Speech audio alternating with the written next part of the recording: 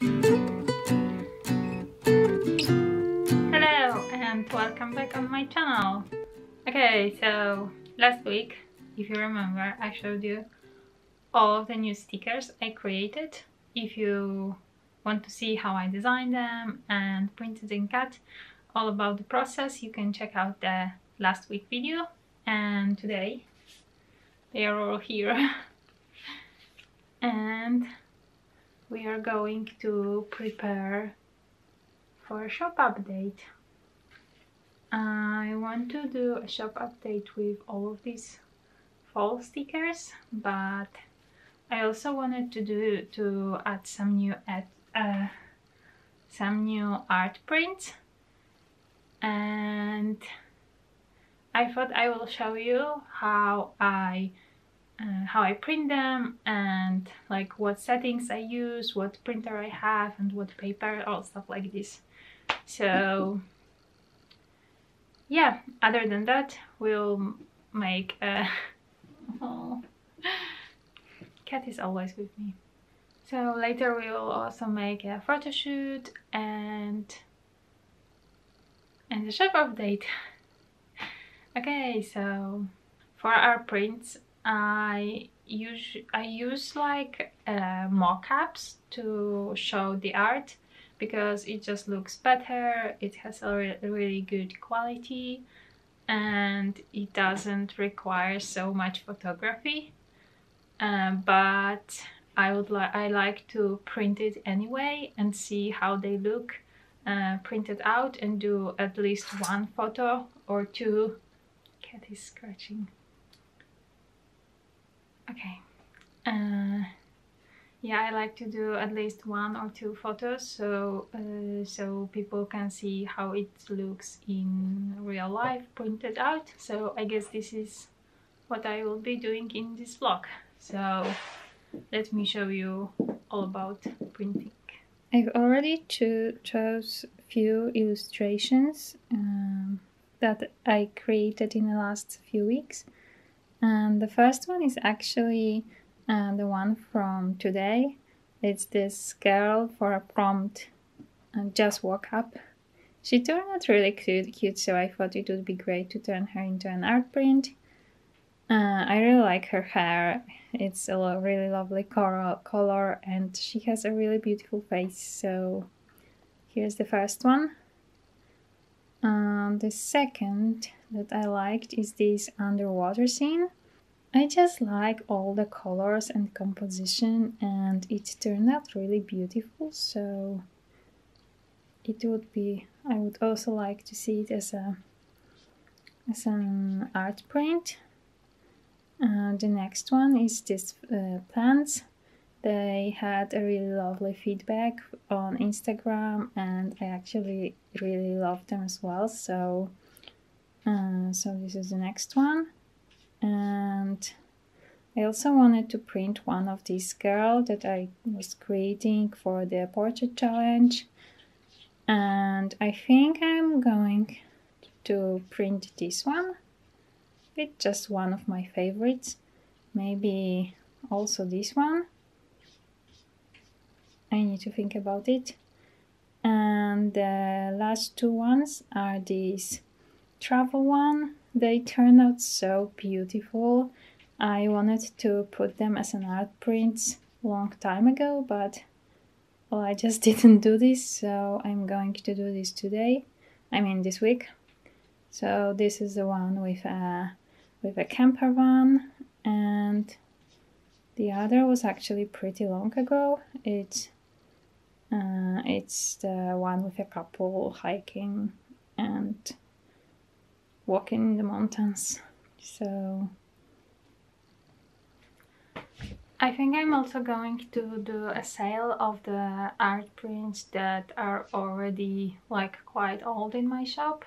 Like run a sale for a couple of days, maybe a week, and then just um, like delete them because there would be too many art prints. Kulai scratching on the door. I have no idea if you can hear that. But the door are closed because I'm filming and she doesn't like when the door is closed. I can open it but she won't just come in. She would like she just doesn't like when the door is closed which is which is super weird. Okay. Where were we? Where were we? Art prints for printing all of my art I'm using a Canon Pixma printer. It's a really good quality uh, printer. It can print up to A3 size which is actually awesome because uh, I can do all my prints at home and I don't have to send them anywhere. And I was for a long time I was using the original Canon printer um, like toners inkjets. Uh, but when I started doing a lot of stationery, it just, I just thought that it's actually a little bit waste of money because the Canon inks are really expensive and I wanted to try um, like the substitutes. And I've ordered for a like a Polish uh, company and they turn out just the same. Like there's no difference in quality of printing so I just stick to them. There's like I don't see a point in buying Canon inks anymore. The other ones are like twice or three times cheaper and have exactly the same colors and gives the same results so first of all I'm exporting all the files as a uh, PSD files so I can open them in Photoshop and don't lose any quality.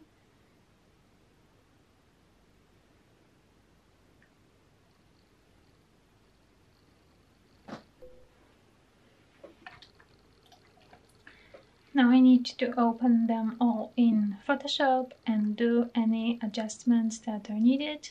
I'm going to print them uh, in a 5 size for photography but they will also be available in a shop in the sizes are A4 and A3.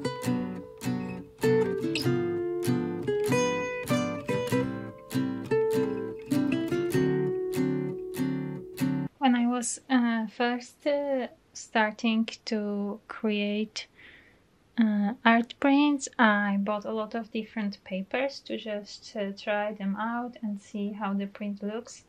And it actually like uh, the, the paper actually makes a really big difference.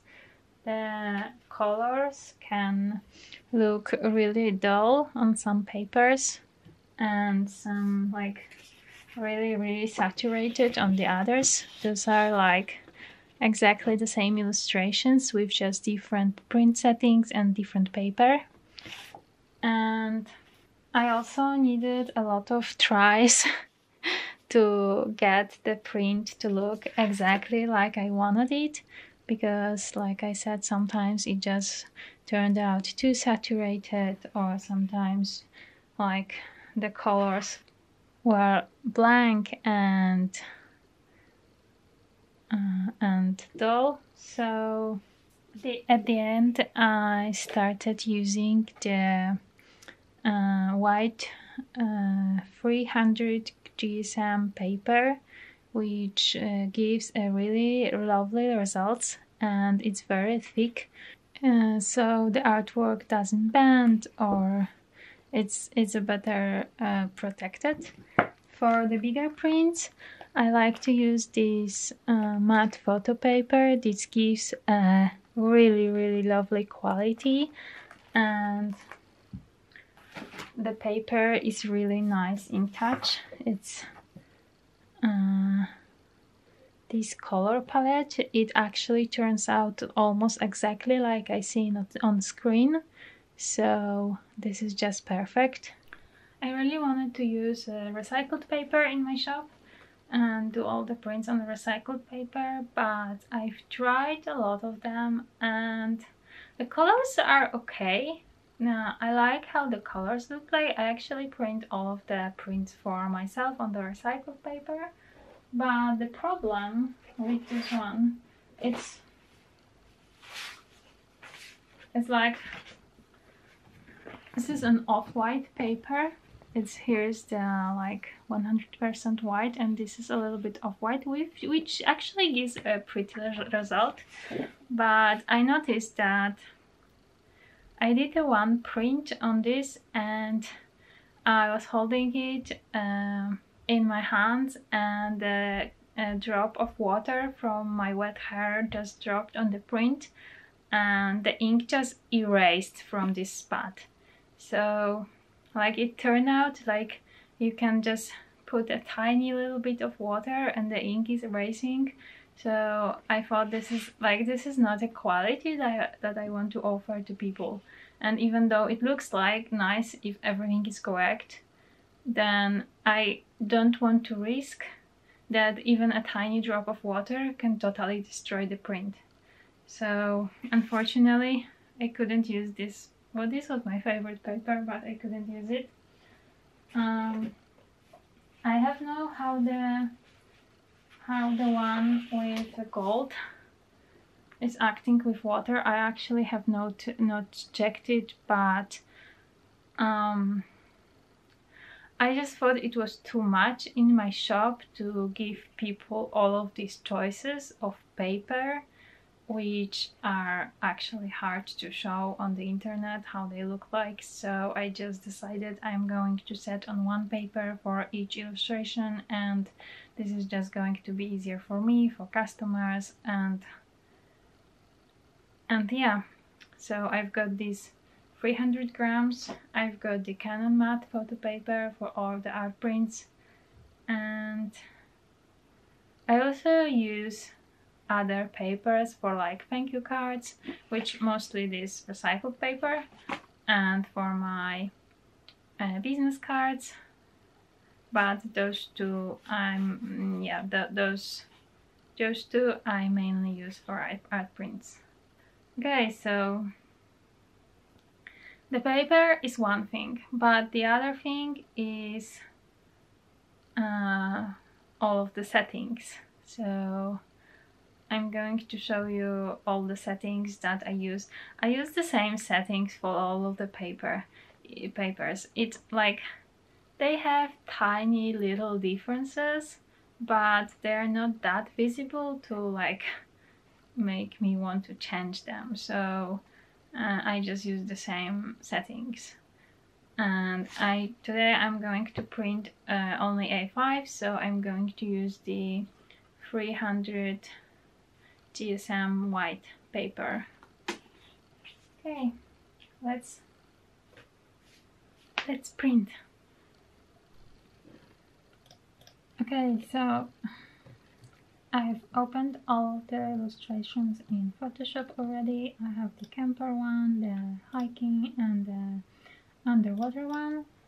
And these three I'm going to print uh, as A5 size now and the other ones they just don't look that great in the like portrait mode or landscape so I'm going to leave them in a square. And they also will be available in a couple of sizes but the like a composition is more square so it just looks better this way. And there's those few ones. So yeah what I'm going to do now is create an A3 file which is here and I imported all of these little A5 ones. Uh, I had a place for a fourth one, so I just put another camper. I use these uh, guides to help me set it correctly. And yeah, and now what I need to do is go to File, Print, and set all of the settings for printing. So first of all, I make sure it's, uh, it's portrait here and I'm going to print settings. I'm choosing printing photography on matte, matte photo paper and A3 size. And then I'm setting printing quality to high. And the other thing I do is here is the option printing without border. I've checked it off because when it's checked in the print is like slightly few millimeters but it's slightly shrinked so the white border that is all the way around it's not that regular as I, as I like. At least I think it works this way. It worked this way with the stickers so I hope it's going to work this way as well now. And yeah so this is my uh, the main settings. And there are the most important settings are color management. The first thing is that uh, it needs to be set to Photoshop manages colors.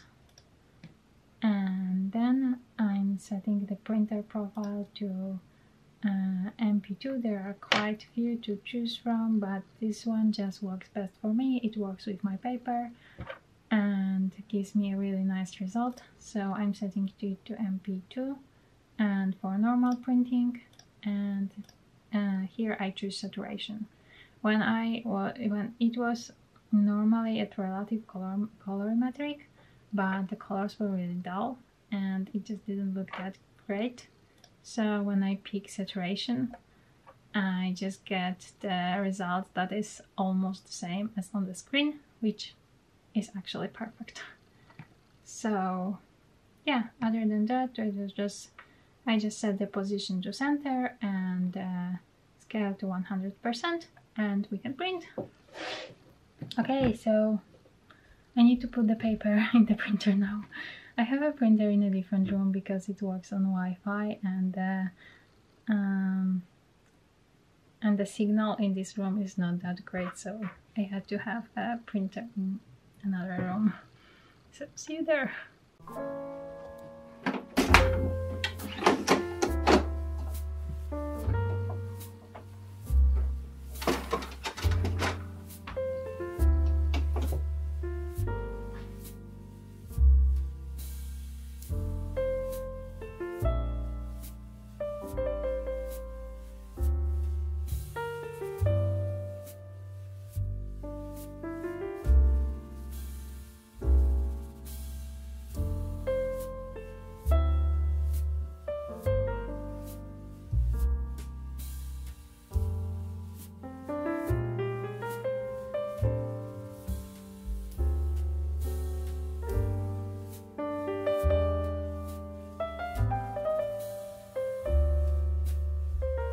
all, all prints are ready.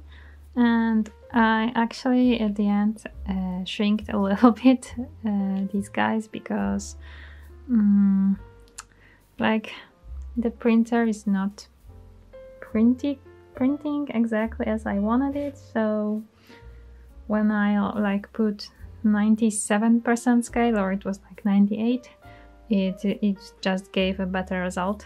And also I had some problems with like leaving this tiny black mark here so I had to like clean the printer first. And it actually still leave this black line here. I have no idea why this is happening. It also happened on all of them. I think I have to like I have to look for some methods to clean it so it, it doesn't make this mark. For the square ones, it's actually not that big of a problem because they have a lot of margin, on the both sides, so it won't have it won't appear. But for these ones, well, I just get these few ones will be second sometimes or I will just leave them for myself. Uh, I definitely need to figure out how to how to clean it. But yeah, print turned out super cute and super beautiful. The colors are really lovely. I just need to cut them now and then I can make a photo shoot.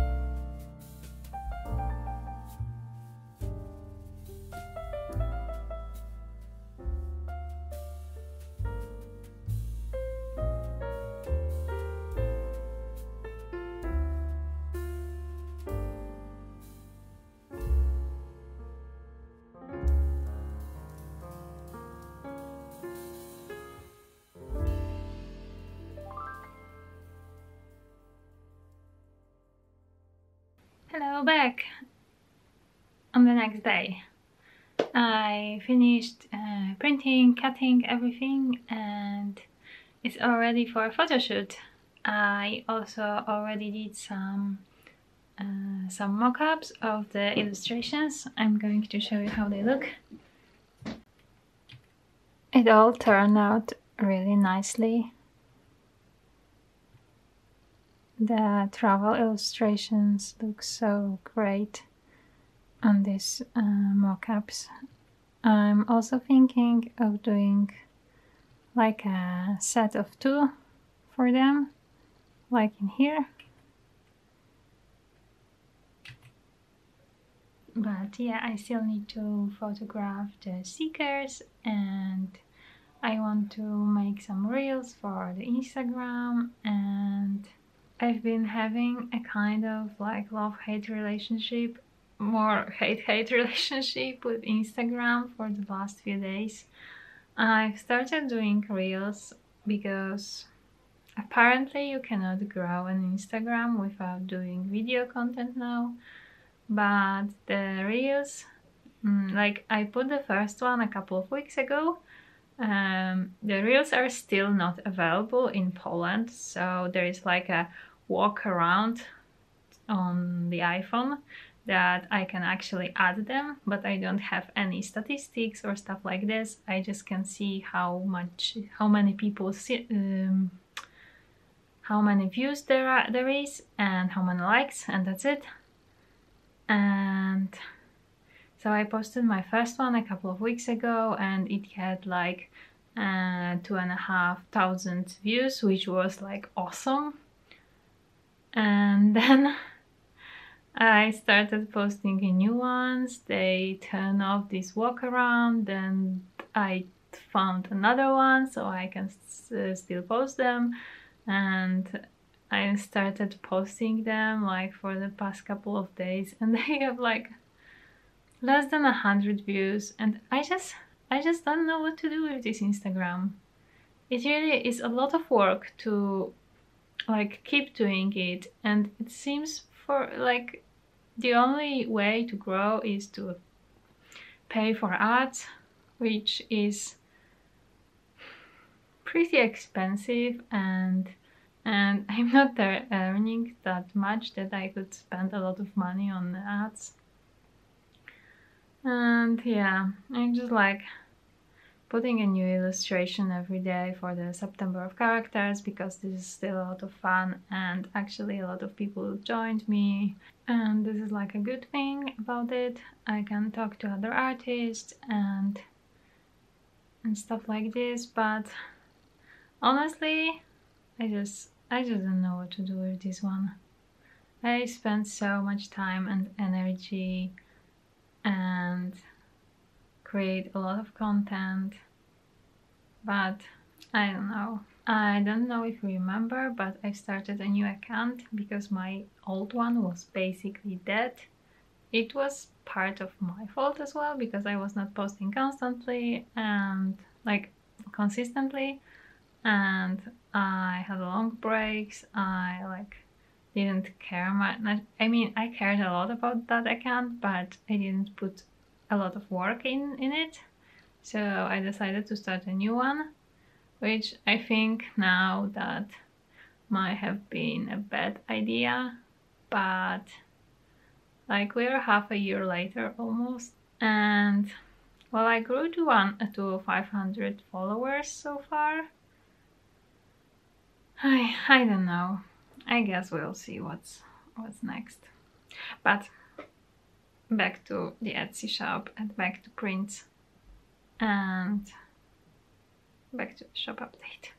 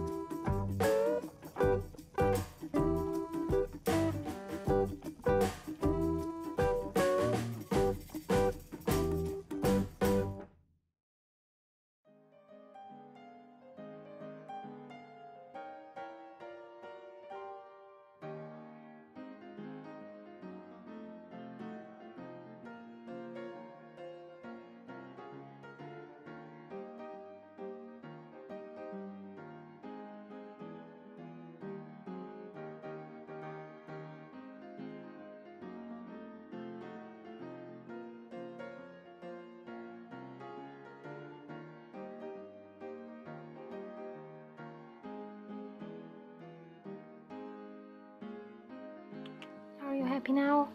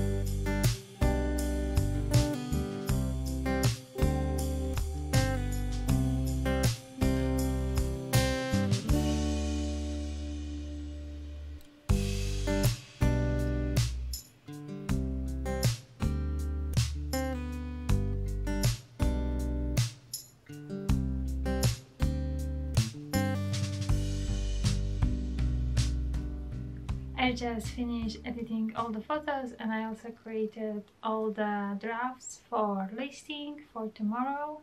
I set the countdown on uh, Instagram for shop update. So I also need to like create uh, create some graphics for my Insta stories to let people know about the the update. And that's basically it. I think all is all is ready. It took me entire day today, but I'm really happy about all of the design uh, results. The prints turned out beautiful and and I hope people will like it. I actually love them so. Okay, so I think that's it for this week's vlog. I also had a plan to like order some polymer clay because I want to start doing clay pins and I also have other ideas but you'll see it later if anything will turn out. Um, but yeah, I did a big research today. Uh, all of the stuff is like not easy to find. Uh, it's not easy to find all of the stuff I wanted, so I need to order from a couple of shops. And I hope next week I can make some clay pins with you. So yeah, we'll see how it goes. Anyway, thank you so much for watching. If you like my art and my videos, please make so sure to subscribe to my channel. It really helps me grow uh, my little business here and I'm super super grateful for all the views and all the all of the subscriptions I'm getting. And yeah, thank you so much and see you in the next video. Bye bye!